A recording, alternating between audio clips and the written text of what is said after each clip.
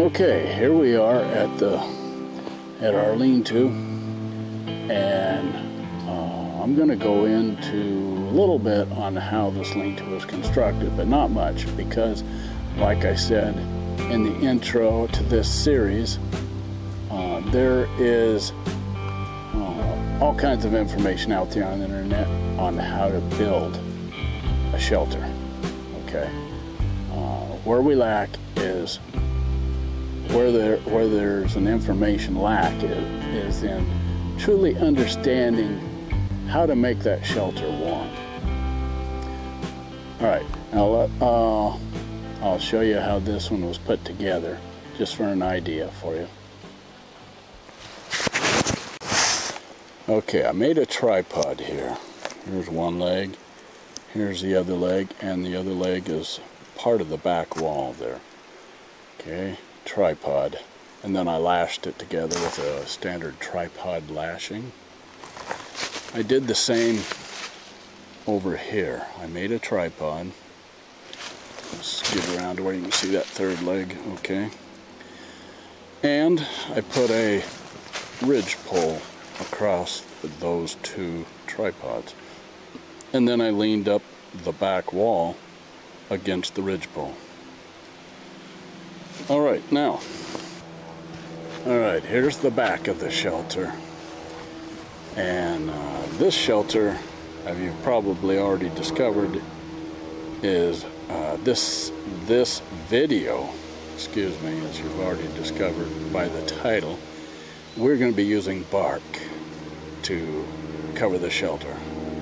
So come along with me out in the on uh, a search for some bark and I'll show you how to get the bark several different ways. Many of you have probably heard of uh, birch bark canoes. Okay, here is a beautiful birch right here that would be excellent. Uh, beautiful bark to use for birch bark canoes. Well, if it'll hold water outside of a canoe, it'll hold water off of your shelter. Okay, but what if you don't have birch trees? Is there another type of tree whose bark can come off in sheets? Well, what about what about spruce? Let's give it a try and see. Okay, now of course it it uh, it goes without saying that you're going to want one that's fairly smooth barked. Uh, you're not going to want a real gnarly, uh, rough uh, barked tree. Okay, now to prepare this tree, we're going to need to uh, cut all the limbs off wherever we're going to want to uh, take the bark off.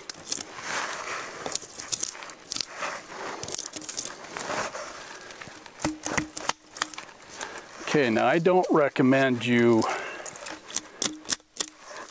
do this on an everyday basis, so to speak. Uh, this is a survival type uh, material okay? Because you are you are going to kill the tree. This will kill the tree.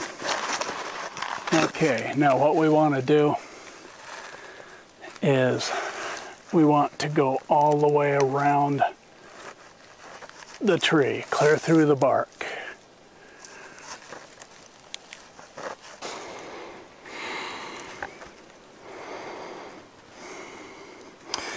Okay, now if we go all the way around it like we did here, let's uh, move on down. Go all the way around it again. Okay, now if we were going to use this to cover a whole shelter, I would just go ahead and cut down the tree and uh, that way you would have access access to the bark of the whole tree.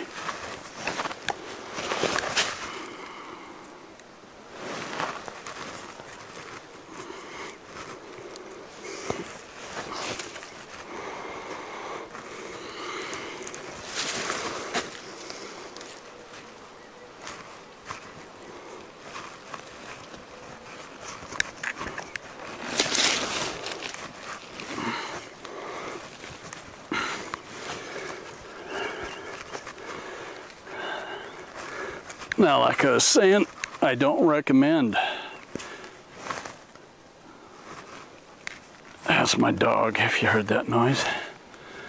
Uh, I don't recommend that you do this, except for in an emergency situation. Now, tarps are uh, what I call visqueen, a clear a clear sheeting will work better.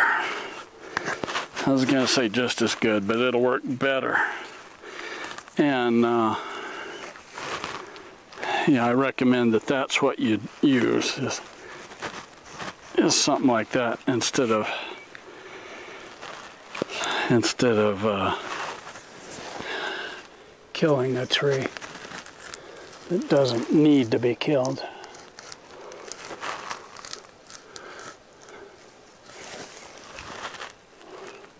But so that we can all learn, I'm going to sacrifice this tree. I'm out in the middle of the woods here in Alaska, in a remote, very rural location, so I'm not worried about the about the tree. Okay, as you saw, once you get the lines all the way around, then you cut down in between the lines. Okay. And now you just start working that bark loose. Okay, you're going to be extra, you're going to need to be extra careful around any old branches knots. Okay, there's one right here. Okay, got through it.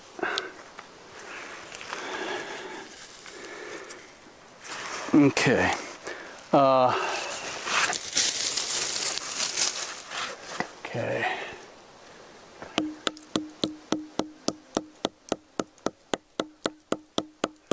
Sometimes it helps to uh, thump around a knot like that.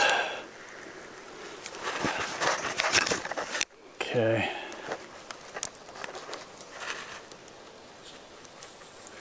There, we got that one loose.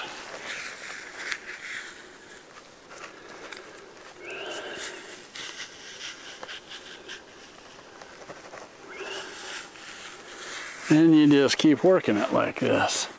Uh, on a larger scale, it helps to uh, whittle out a big stick, oh, maybe this thick around, and whittle it into kind of a chisel point, and then work that up and down. But we're just doing this on a small scale, so it's not not real critical here. Mm.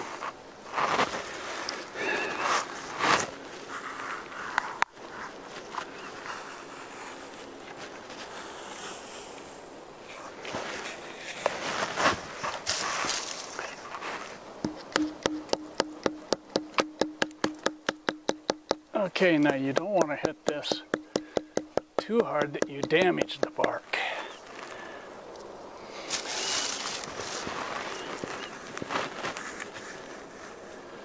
Just hard enough that works things loose here.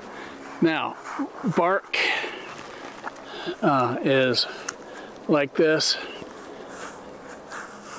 has to be got in the spring. If you go beyond the spring, then you're not going to be able to uh, peel it off. It's not going to peel off.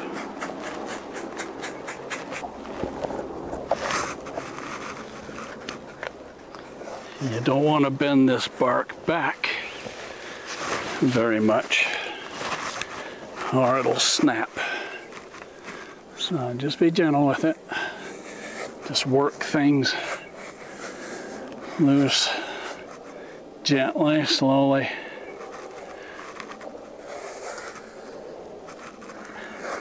It's going to take you some time, but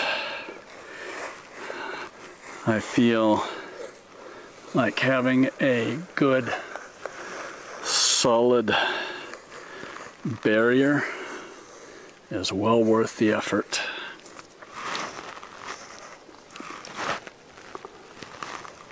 Mm. Mm, that is good. That's real good. It's sweet. Sweet with uh, spruce. Mmm. That is wonderful. All right, just about got it here. There.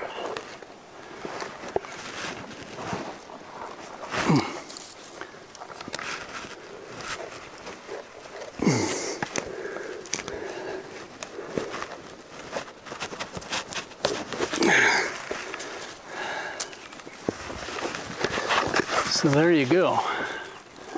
There's a sheet of bark, every bit as good as piece of birch bark. Okay, now spruce and birch, the only trees you can do this with. Well, I do know in this area that I've also done it with willow and poplar. Willow and poplar both. Uh, work just as well. Like I said, this is a springtime only option, okay?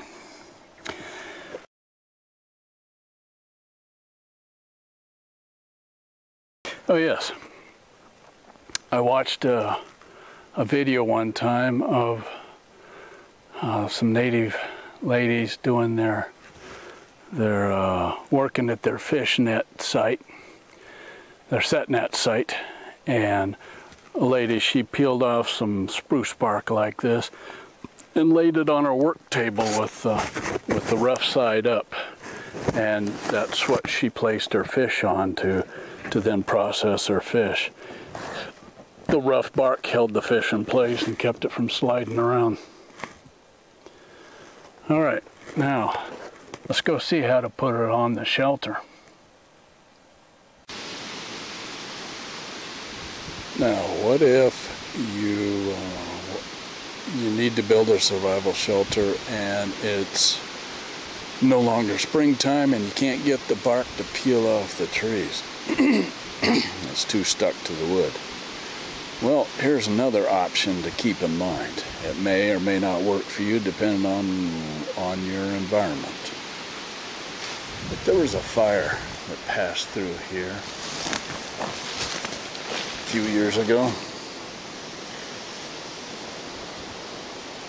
and burnt this area, killed the trees, and loosened the bark.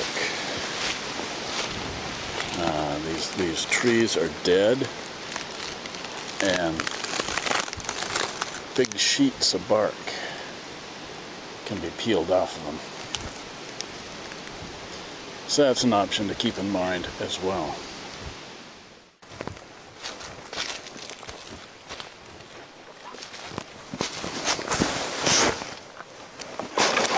Alright, we've got our bark. Uh, uh, now I'm not going to cover this whole shelter with bark. I don't want to strip that much bark off of live trees. But uh, I'll use just enough here to show you how it's done. Okay, we've got some old birch bark that I brought from home. And we've got the spruce bark that uh, we got earlier. All right, now this is dried out. It's thoroughly dried and it's flat. Now you need to, how I dried it was I put it on a flat surface and put weight on it uh, to allow it to dry. Now you could put it right on the, the shelter and then put weight on it. You know, put it on the shelter wet, green, fresh, and then put weight on it to keep it from curling up because it will naturally want to curl. All right, so now how you do it is you lay your bark up against the shelter like this and then the next piece you're going to want to overlap a certain distance uh, to keep the rain from going in and the heat from coming out. Now after you've got the whole bottom row here taken care of, uh, you're going to need to go up on the next row, next row up. So you're going to have to overlap that as well. Uh, you have to start from the bottom, put your whole bottom row on, and then go up the next layer. And you'll have to overlap so that any rain running down this will run on to this and run on down. Okay, now in order to hold this up, you're going to need to, uh, I suggest putting forest debris on top of your lower layer enough so that then you can put on the next layer and it will support this layer.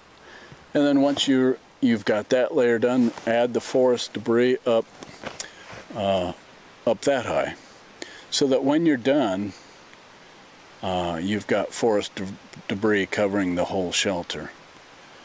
All right. Now, uh, another way you could do it would be to uh, bore hole, holes through here, run cordage through, and lash it around these poles to hold it in place. Uh, I prefer weighting it down with the forest floor debris or the spruce boughs we were talking about earlier. And the reason why is because it holds the stuff down flat so that there's not big gaps like this. You know, it would hold it flat, tight, so that uh, it seals better. And speaking of sealing, uh, this will not allow that warm air to just sift right up through. It's gonna it's to be able to build up an envelope of warm air inside of this lean-to and uh, you'll be a lot warmer. I think you'll be amazed at how much warmer you'll be than if you had uh, like just uh, six inches of spruce boughs. You know, many of the videos I see on the internet, you can even see daylight through. Uh, from the inside, you look out through the the the back wall, the the roof, and you see daylight, and there's no way that's going to hold heat in. This will hold it in for you. Okay, now like I said earlier, uh, you're better off using a tarp. It's much more efficient. Using a space blanket or a tarp or Visqueen. But in a survival situation, if you find yourself out in the woods and you don't have that, this will work. All right, I hope you learned something, and uh, I thank you for watching. You guys have a good day. We'll see you on the next video.